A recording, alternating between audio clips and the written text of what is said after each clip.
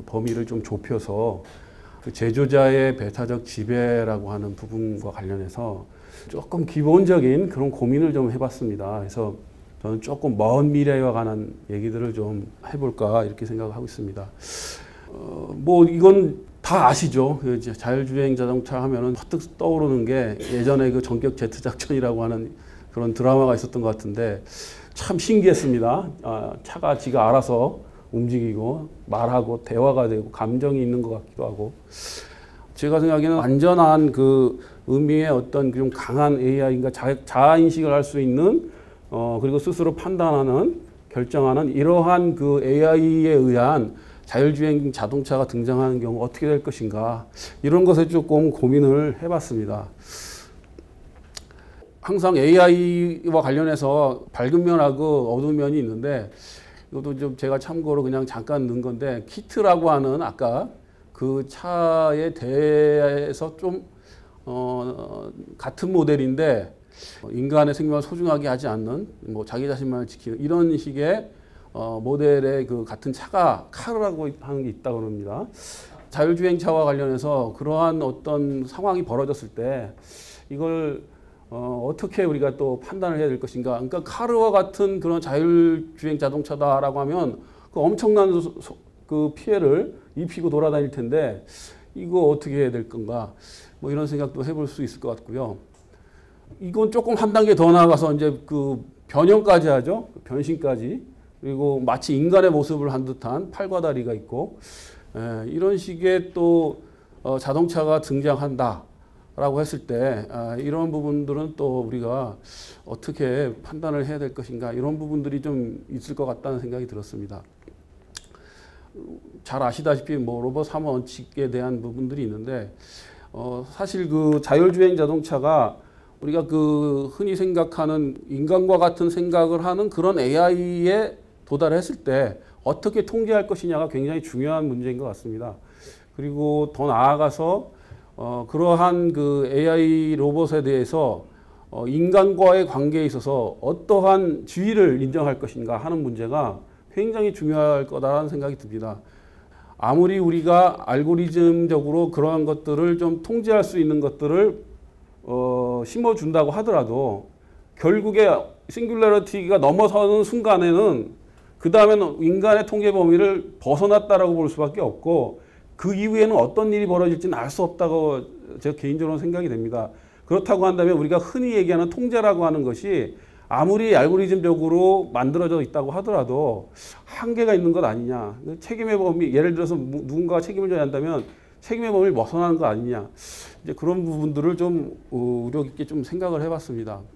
예, 자율주행 자동차라는 게 운전자 또는 승객의 조작 없이 자동차 스스로 운행이 가능한 자동차를 말한다 이렇게 하고 있는데 과연 이제 저 자율주행차 개념이 적절한지 저는 좀뭐 어, 간단하게 좀 짚고 넘어가자면 그냥 특정 기능이 자동화된 고도화된 뭐 이런 그 단계의 자동차를 의미하는 것인지 아니면 제한적이거나 또는 3단계 또는 레벨 4에 해당되는 뭐 완전한 자율주행 단계의 자동차를 의미하는 것인지 아니면 진정한 의미의 자인식할 수 있는 그런 강한 AI를까지도 포섭하는 그런 개념인지 이런 부분에 대한 것은 조금 현행법상 조금 우리가 해석상 한계가 있지 않나 이런 생각이 들고요. 그다음에 운전자 또는 승객의 조작 없이라고 하는 이 부분과 관련해서도 보기에 따라서는 조금 다른 해석을 할 수도 있지 않느냐 이런 생각이 들고요. 그다음에 자동차 스스로 운행이 가능한 자동차다 이렇게 하는데 아까 말씀드렸다시피 운행이라는 거는 사람 또는 화물의 운송 여부에 관계없이 자동차를 그 용법에 따라 사용하는 것이 운행입니다. 근데 자동차가 운행한다. 이게 글쎄요. 그 사람을 전제로 해서 그 어, 자동차를 사용하는 것을 전제로 한 개념 같은데 자동차가 또 스스로 운행한다.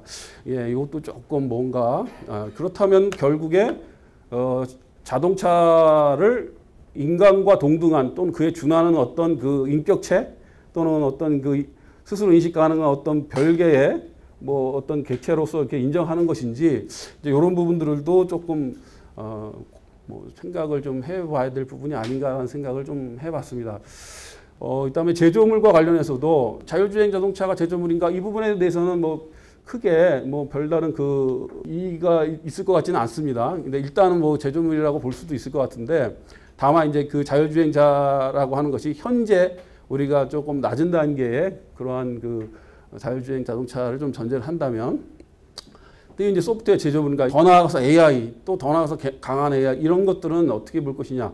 근데 결국에 강한 AI까지는 조금 그렇지만 그 소프트웨어가 제조물인가에 대한 질문에 대해서는 적어도 인베디드와 관련되어진 그런 소프트웨어는 입법적으로 해결하는 것이 조금 명확하게 아, 그런 것이 바람직한 것이 아닌가 저도 이제 개인적으로는 그렇게 생각을 하고 있습니다. 그래서 어쨌든 어 지금 이제 해석론에 의거해서 좀 어떤 판례에 좀 기대해서 자꾸 어 얘기를 이렇게 하고 있는데 어, 이 부분에 대해서는 조금 어 소프트웨어 전체에 대한 것이라고 할 수는 없겠지만 조금 그나마 우리가 조금 한정해서 그런 소프트웨어를 제조물로 인정할 필요가 있는 부분들은 좀 적극적으로 법에 반영한 것이 필요할 거다 이렇게 생각이 됩니다. 제 개인적으로도.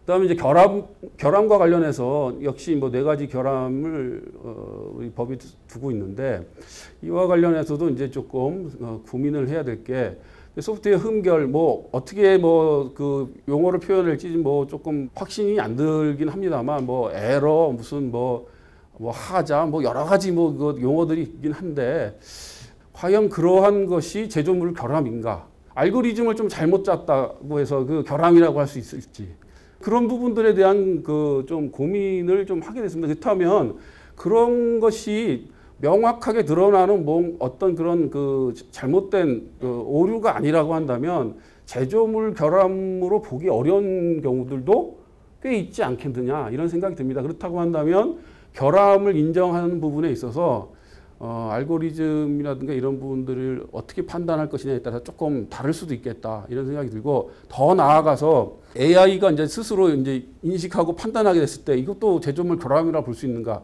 우리가 그 AI와 관련된 것들을 만들 때그 개발할 때 이게 자기 자기 스스로 깨달음을 얻고서 인간같이 되리라고 생각하고 개발할 수도 있지만 그 전 단계를 전제로 해서 생각하고 개발할 수도 있다라고 생각이 됩니다. 만약에 그렇게 된다면 어느 날 갑자기 이게 인간으로 인간처럼 행동 저 사고하고 뭔가 이렇게 판단하고 이렇게 됐을 때 이거를 결함으로 볼 수 있을 것인가? 우리가 앞에 그 제조상의 결함, 성계상의 결함 이런 것들과 같이 대비를 해서 봤을 때 과연 그것이 결함으로 볼 수 있을 것인가? 아니면 볼 수도 있겠지만 또 어떤 측면에서는 아닐 수도 있다는 생각이 또 듭니다. 통상적으로는 뭐 소프트웨어 관련해서는 제조상 결함에 대한 부분들을 인정하기 어렵다라고 하는 견해도 있고 그렇긴 합니다만 어 우리가 조금 그 개념을 좀 확장시켜서 뭐 그 설계라고 하는 개념을 그냥 뭐, 뭐 물건을 말고 이런 만들고 이런 개념 좀 벗어나서 개발 뭐 이런 것들 또 제조라고 하는 것들 물건 제조에 한정하지 않고 조금 확, 개념을 조금 그 확장을 한다면 어, 작성 뭐 이런 쪽으로 이렇게 좀 넓힌다면 그런 부분에 대해서도 핵, 뭐 조금 뭐 무리일 수도 없지 않나 있지만은 조금 그런 부분에 대해서 제조상의 결함이라고 하는 어, 부분을 조금 연결시켜서 생각해 볼 여지도 있지 않느냐 이렇게 생각이 좀 듭니다. 어, 설계상의 결함이라든가 이런 것도 아까 말씀드렸다시피 그 대체 설계 를 미채용했다, 채용했다 이런 부분도 사실 그 합리적인 것인지 아닌지에 대한 것을 판단하기가 참 애매한 것 같습니다. 그래서 그런 부분들도 조금 어, 어려운 부분이긴 한데 어쨌든 그 AI가 어, 스스로 인식하는 상태가 되었을 때에 관한 부분에 있어서 어, 단정적으로 말씀을 할 수, 말씀드릴 수는 없지만 제조상 결함으로 볼 여지도 있다. 그래서 결국에 이제 그런 부분에 대해서 어, 좀 생각을 해볼 어, 필요가 있지 않을까. 물론 아니 아니라고 볼 수도 어, 뭐 있습니다 분명. 예. 그 다음에 이제 제조물 책임과 관련해서 어, 어, 아까 이제 그 오 교수님 쭉 말씀하셨는데 뭐 결국에 가장 중요한 부분에 대해서 말씀을 드리자면 그 빨간색으로 표시한 부분에 소비자 측에서 이제 입증해야 될 부분에 대해서 이제 그 제조업자의 배타적인 지배하에 있는 영역이라고 하는 부분인데요. 어, 이 부분 예, 뭐 가- 관련 그 판례들이 쭉 그런 내용들 담고 있고요.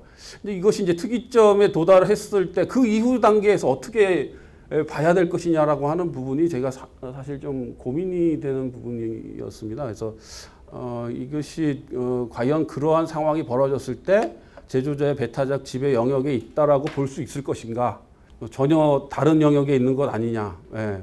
뭐 이런 그 좀 의문도 좀 가져보게 됐습니다. 에, 근데 이제 처음부터 차에 이제 어, 강한 AI가 이제 포함돼서 제작되고 판매되고 이렇게 하는 경우도 있겠지만 이게 일단은 그런 기능 AI적인 것들이 있긴 한데 이게 사후에 이제 판매하고 나서 나중에 지가 스스로 알아서 어, 자아 인식하는 상황이 벌어졌다.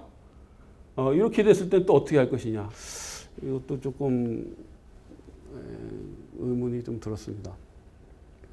그 다음에 이제 그 배타적 지배와 관련해서 지금 우리는 이제 그 제조물 책임법이 제조물 책임법상에 어, 규정된 결함을 전제로 해서 책임을 인정하게 돼 있지 않습니까?